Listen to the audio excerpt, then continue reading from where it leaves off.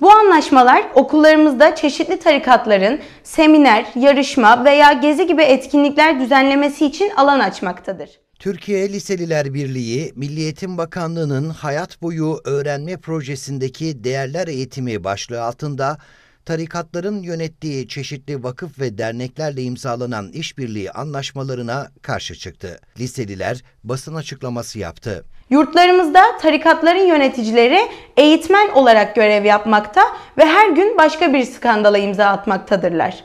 Tarikat ve cemaatler cumhuriyete, laiklik ilkesine ve fikri hür, vicdanı hür bireylerden oluşan yurttaşlar toplumuna temelden aykırıdır. Türkiye Liseliler Birliği Başkanı Elif Yılmaz, okullarda tarikatlara geçit vermeyeceklerini söyledi. Okullarımız geleceğimize yön veren en önemli araçtır.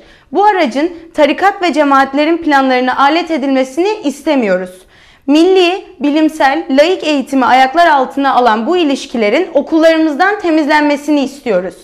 Bunun için Türkiye Liseliler Birliği olarak görev başına geçiyoruz. Protokollerin iptali için imza kampanyası başlatıldığı duyuruldu. Okullarımızın her köşesine yayılmış bu örümcek ağlarını temizleme zamanı. Tarikatların okullarımızda barınmaması için bir imza senden, bir imza da arkadaşından olsun.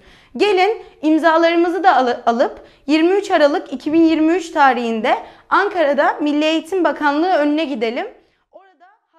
Merhaba arkadaşlar ben Halil Nebiler. Ulusal YouTube kanalına göz attığınız için peşin peşin teşekkür ederim. Eğer daha fazla video, program özeti, ne bileyim canlı yayın falan izlemek isterseniz sağ taraftaki abone ol butonuna tıklayabilirsiniz. Butonlar da aşağıda mı yukarıda mı aşağıda galiba değil mi? Heh, oraya tıklayabilirsiniz. Son dakika haberleri için ulusal uygulamasını indirmeyi unutmayın. Şimdiden izlediğiniz için teşekkür ederim.